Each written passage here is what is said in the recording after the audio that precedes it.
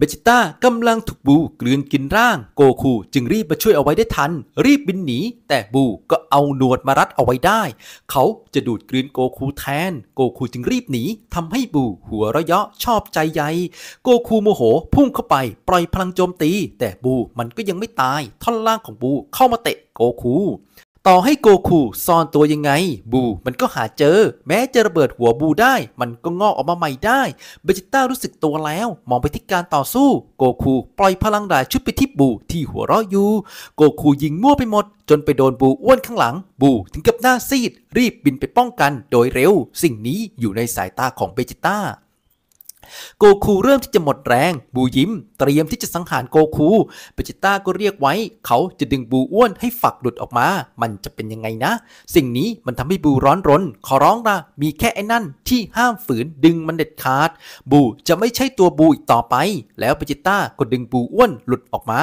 ก่อนที่บูจะทันเข้าไปถึงบูเริ่มละลายจนกลายเป็นแอ่งน้ำสีชมพู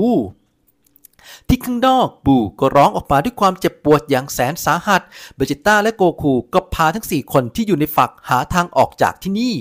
บูน้ำลายไหลท่าทางเจ็บปวดอย่างแรง ไอ้น้ำที่หัวก็พุ่งออกมาเป็นควันขนาดใหญ่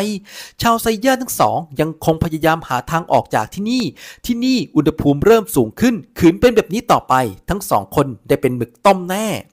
โกคูเริ่มไม่ไหว ปล่อยโกฮังหลุดมือ โชคยังดีที่รับเอาไว้ได้ แล้วก็มีน้ำพุร้อนพุ่งออกมา ที่ที่มันพุ่งไปนั้น อีกฝั่งมีแสงสว่างอยู่นิดหน่อย มันน่าจะเป็นทางออก แต่ทั้งสองคนพุ่งกันมาไม่ทัน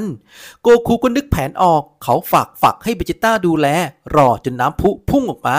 ปล่อยพลังคลื่นเต่าออกไปชะลอความเร็ว แล้วทั้งสองก็บินออกมาที่รูนั่นได้สำเร็จ ร่างกายก็กลับมาตัวใหญ่ตามเดิม รวมถึงคนที่ช่วยออกมาด้วย แม้จะยังไม่ได้สติก็ตาม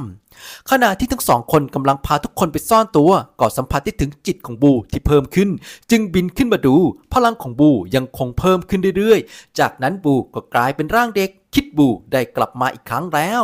มหาเทพอย่างคิปิโตะไคถึงกับตื่นตระหนกที่บูกลับไปเป็นร่างเดิมอีกครั้ง ปูพยายามขอให้อธิบายมาทีว่ามันเป็นยังไง แล้วตอนนี้ก็จบลง